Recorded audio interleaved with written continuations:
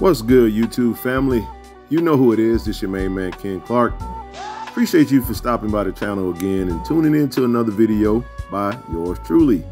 If you're new to the page, go ahead and smash that like button. Go ahead and hit that subscribe button. Be sure to share the content. Feel free to leave a comment. Just hit that notification bell so anytime I bring you any new content, you'll get notified, man, and you're able to tune in. So let's jump right into it. All right, man, we had our first home game. You know, we, we had the G come to Jackson. It was a hot one, man. It was a hot game. A lot of talks about um, the temperature, game time at 1 p.m. in the peak of the late summer. A lot of people were dealing with heat exhaustion. Even some people fainted. Um, band left early. A whole lot of things that transpired uh, during this game. So a lot of complaints after the game. Um, there were complaints of toilets not working properly. There was complaints of the concession stands running out of water. All of those things that were mentioned, uh, we're taking notes of, you know. So uh, shout out to the institution, uh, Jackson State, for uh, hearing those complaints and releasing this week improved elements for football game day. Uh, they made an announcement. So uh, one thing uh, we, we have to give credit when credit is due. We love to complain about things when things aren't where we feel they should be, but it says a lot about the leadership and those that are uh, willing to listen and make changes on the spot. Again, folks, this is football, man. Football's played outside, so there are going to be elements you got to deal with. Sometimes you have to be proactive and less reactive. More specifically, if you know that a football game is going to be at 1 p.m. in the middle of the South in Jackson, Mississippi, where the humidity is high, you got to hydrate. You got to hydrate. And like my man T. Jones said, Henny and heat don't mix. You can't eat all that bad food. you can't drink all that alcohol and then don't drink no water, don't hydrate properly, and then go sit in 90 degree um, temperatures in, in late summer in, in, in Mississippi. So, um, but shout out to the institution for adhering to some of the complaints and, and, making some adjustments. So let's jump right into it. Let's see what some of the things that they mentioned as far as the new and improved elements that will be uh, in play uh, for game day. The Jackson State University Department of Athletics has taken the steps to improve the fan experience at Veterans Memorial Stadium. Free bottled water will be available in the tailgate areas prior to the game, the start of the game. Uh, a lot of tailgating going on uh, out in the tailgate area. The school is going to be providing some free bottled water for everyone that's out there. So um, everyone has the ability to hydrate. But again, if you're just now starting to hydrate right before the game, you're probably a little too late. So you want to definitely make sure that you're hydrating at least 24 hours before. I would even say 48 hours. So at the time of this voice and when you see this video, you probably should be hydrating now if you're already planning on and attending the game this weekend. The quantity of water available for sale will be doubled and additional designated concession areas for beverage only transactions have been added. That's outstanding. I mean, I think when you think about the concession lines and some of the complaints that took place, the, the amount of time it took to get in and get out and get the things that you needed, uh, pretty good idea. Wish this was in place for game one, but based off the school, the school stated that this will be in place for game two. Another thing that will be added, concession hawkers will continue to sell beverages in the stands.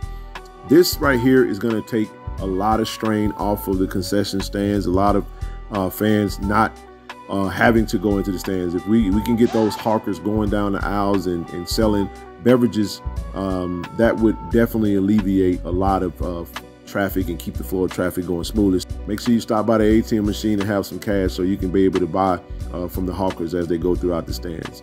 Uh, next thing, emergency first aid support will assist anyone experiencing heat exhaustion during the game. Absolutely necessary. We saw, I was watching, uh, I was sitting in the stands and I, I was watching um, Grambling after they finished their halftime show. A couple of band members collapsed right in front of us, man. So that was very, uh, very, very scary uh, moment for, for all of us. So uh, definitely want to see um, us be better prepared in the future. Uh, additionally, fans are asked to take the following precautions to avoid heat exhaustion. Now, this is that self accountability piece that we're talking about. Drink plenty of water prior to sun exposure. Do not wait until you're thirsty to drink water, people. We got to take some self accountability, man. You can't wait until you get thirsty to start drinking water. Start now. Wear loose fitting, lightweight clothing and or a wide brim hat. This right here help you keep the sun off of your, your noggin and provide a little bit of shade for you if you have to stand out into the if you have to stand out in the midst of the sun. Be sure to wear sunscreen. Uh, or you can wear long sleeve clothing, uh, thin, lightweight long sleeve clothing to keep the sun off of your skin, direct contact. Uh, but definitely wear sunscreen. I know we we black and brown people for the most part, but we should definitely wear sunscreen as well. And take precautions with certain medications. Be sure to make sure that if you're on medication that you, if you have to consult your, your physician, feel free to do so. You know, you don't want to, we don't want anyone to be out there uh, dealing with any type of medical conditions and the heat triggers something that, you know, would be detrimental to your health and even possibly your life. So uh, we don't want to see that. But nevertheless, defending SWAC uh, champions Jackson State football Tigers will host Mississippi Valley this Saturday at the Vet. Um, the radio broadcast will be on 95.5 Hallelujah FM. So the video will be streamed on ESPN Plus. The fan color of the game is blue, home blue. For the first responders, game and high school day, all police, fire, medical, and military personnel will be admitted free with ID or in uniform. This is the thing that I like to see uh, whenever we're talking about uh, complaints. I love the fact that the, the school went out and put uh, put out this uh, information for us. You know, they even made it to where uh, it was very, very self-explanatory. You know, so those are the four steps that you can take to prevent uh, heat, extra heat exhaustion. But one thing we're not going to do, we're not changing the game time. So Coach Prime in his press conference, weekly press conference, stated why he, you know, why we would want to play 1 p.m. games. I know we're so used to playing 6 p.m. games and, and or 4 p.m. games, but we've known what our schedule would be for quite some time now. You know, um, we got one more game, which is this weekend, where we'll be playing at 1 p.m. in the middle of the, the, the summer. I know we're rolling into the fall, but next month when we have our homecoming game versus Campbell on October the 22nd, as well as followed by our game versus Southern October the 29th. Uh, I expect the weather to be a little bit more friendlier, maybe still a little warm, but it won't be as warm as it is now in the peak of the latter part of the summer. So, again, this is football, people. It's not basketball. We don't play in a dome. We're in the South. Everybody's playing football on Saturday. There's a lot of games being played at 1 p.m. And the sun didn't just become the sun. We got to be smart about what we're doing and we got to be better prepared.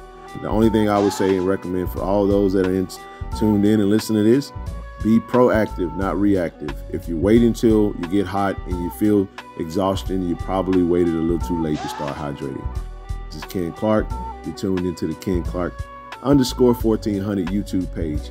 I appreciate all of my subscribers. Thank you for all the support, all of the comments, all of the likes, all of the shares.